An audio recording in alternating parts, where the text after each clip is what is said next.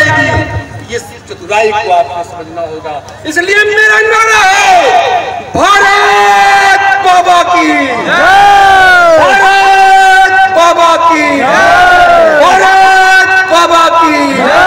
साथियों, जब भी कोई भारत माता बोले, एक बार भारत माता ज़रूर बोलना, क्योंकि माता शब्द लगा है। उसके बाद कहना, भारत बाबा की जय। उसका प्रत्युत्तर देना भारत बाबा की जय। क्योंकि भारत बाबा की जय करने से ही हमारा इतिहास बनेगा, अखंड भारत बनेगा, देश बनेगा, समाज बनेगा। नमक भारत बाबा की भारत बाबा की भारत बाबा की साथियों हमारे बीच में राजीव रतन जी हैं मैं अपनी बात रखें राजीव रतन जी।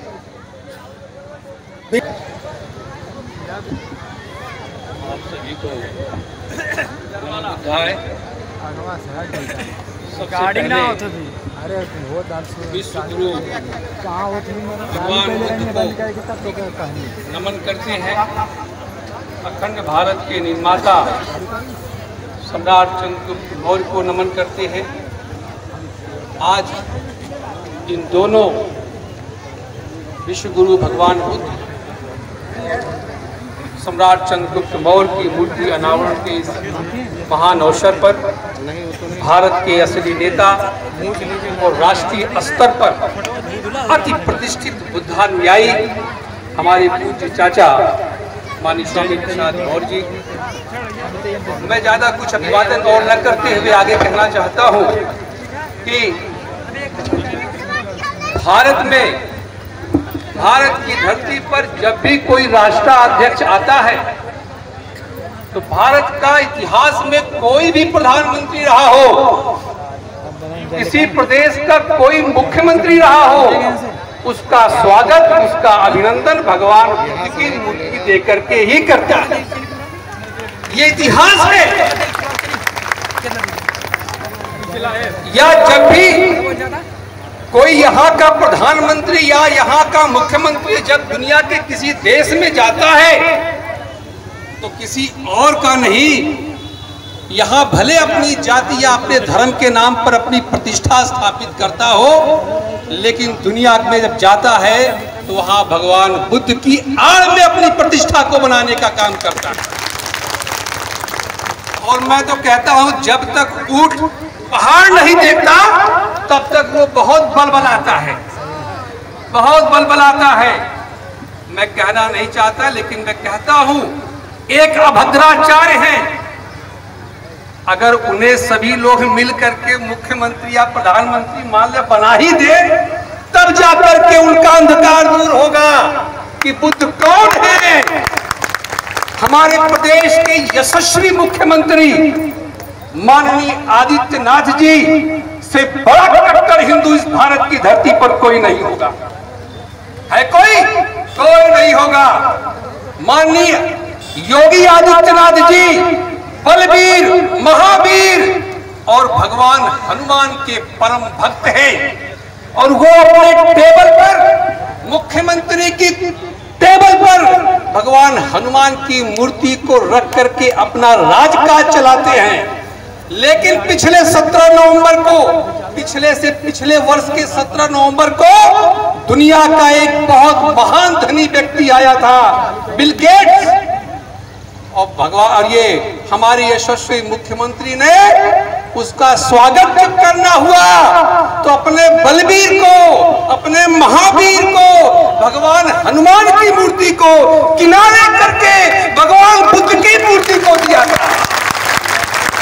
ताकत है भगवान बुद्ध के समता न्याय बंधुत्व दया मैत्री करुणा से लैस जो उनकी धम है यानी सच्चाई सब जानता है चाहे हमारे यशस्वी मुख्यमंत्री जी हो और चाहे यशस्वी प्रधानमंत्री जी हो सच्चाई सब जानता है सच्चाई लेकिन आपको जानने की ज़रूरत है कि हमारे भगवान बुद्ध का, उनका सम्मान क्या है? साथियों, हम अपने भगवान बुद्ध के धम्म को नमन करते हैं। आज इस समारोह में भगवान बुद्ध के संघ को नमन करते हैं, भगवान बुद्ध को नमन करते हैं। साथ ही यहाँ पर उपस्थित समता, न्याय, बंधुत्व, दया, मैत्री, करुणा की भावना से लैस होकर के जो बुद्ध के अनुयायी बैठे हैं, मैं आप सबको नमो बुद्धाय कहता हूँ। और इस अवसर पर मैं भारत में जन्मे सभी ज्ञात, अज्ञात, असंख्य उन संतों, गुरुओं और महापुरुषों को भी नमन करता हूँ, जिन्होंने भगवान बुद्ध के धम्म को अपने तरीके से, अपने तरीके से समय, काल, परिस्थितियों को ध्यान रखते हुए भगवान बुद्ध के धम्म को आगे बढ़ाया था। मैं नमन करता हूँ उन राजाओं को, उन महाराजाओं को, उन सम्राटों को, जिन्होंने भगवान बुद्ध के धम्म को राजा से प्रदान करके न केवल भारत की धरती पर मानवतावाद का बोलबाला कराया था, और उन राजाओं, महाराजाओं का अभिनंदन, स्वागत करते हैं, जिन्होंने सम्राट चंद्रगुप्त मौर्य के अखंड भारत को क्षुण बनाए रखा। आज मैं नमन करता हूँ उस महान शख्स को, जो न राजा था, न महाराजा था, न सम्राट था, न संत था, बल्कि असली, बल्कि इस आधुनिक भारत का असली बाबा था, परम पूज्य बोधिसत्व बाबा साहब डॉक्टर अंबेडकर। बाबा साहब अंबेडकर जिन्होंने भगवान बुद्ध के धम्म को भारतीय संविधान के माध्यम से लागू करके इस भारत को अखंड बनाने का काम किया, सम्राट चंद्रगुप्त मौर्य के अखंड भारत को बनाए रखने का मैं आज अभिनंदन करता हूँ आजमगढ़ के महान नेता करुणाकांत मौर्य का, जिन्होंने असली काम किया है, महान काम किया है। साथियों, भव्य मंदिर बन रहा है। बन रहा है कि नहीं? बनना भी चाहिए। और उस भव्य मंदिर में भव्य मूर्ति की भी स्थापना होगी, होना भी चाहिए। हो सकता है कि पत्थर की मूर्ति बने, हो सकता है सोने की मूर्ति बन जाए, और मूर्ति जब बन जाएगी, सुनो भाई, मूर्ति जब बन जाएगी तो उसमें प्राण प्रतिष्ठा स्थापित किया जाएगा। उस मूर्ति में प्राण की प्रतिष्ठा स्थापित होगी और जब प्राण की प्रतिष्ठा स्थापित हो जाएगी तो प्रभु में प्राण आ जाएगा। राम राज्य आ जाएगा। स्वागत है अभिनंदन।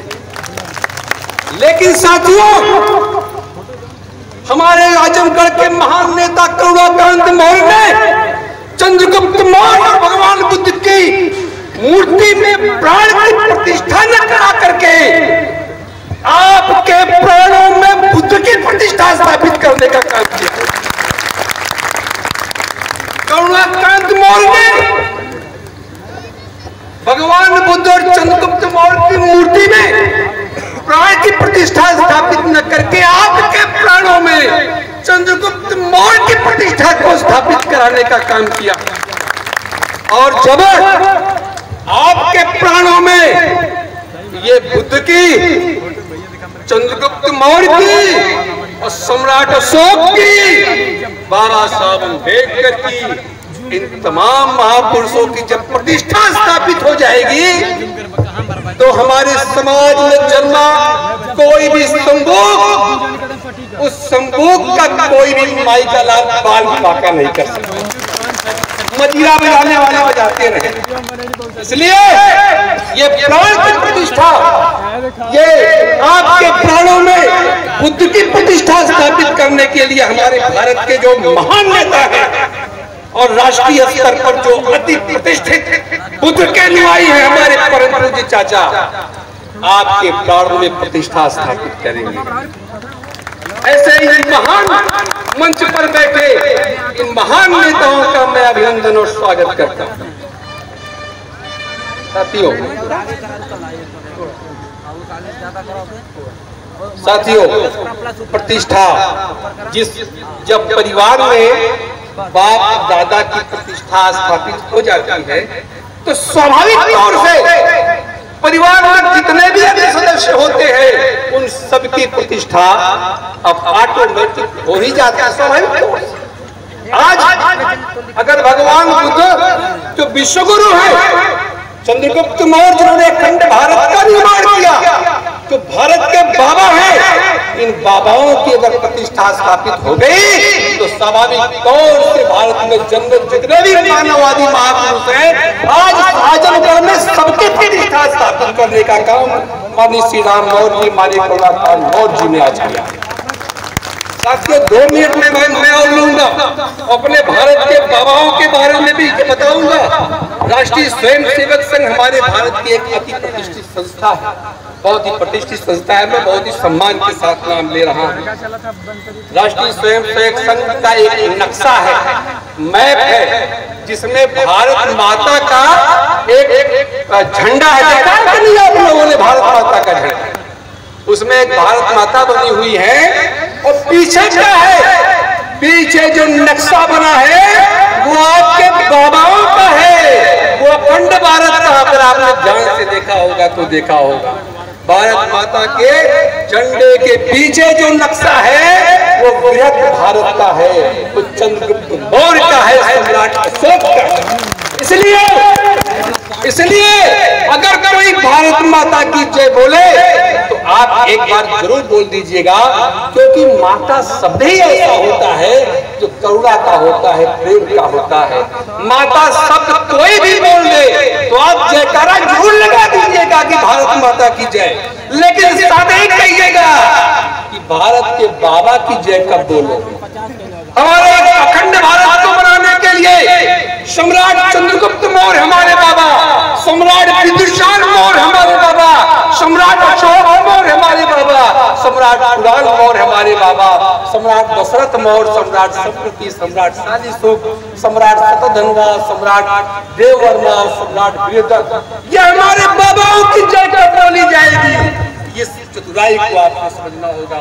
इसलिए मेरा नारा है, भारत बाबा की भारत बाबा की भारत बाबा की साथियों जब भी कोई भारत माता बोले?